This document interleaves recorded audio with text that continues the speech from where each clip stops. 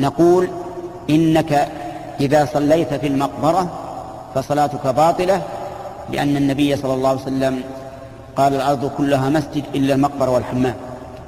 هذا غير صلاة الجنازة لأن صلاة الجنازة تجوز حتى في المقبرة.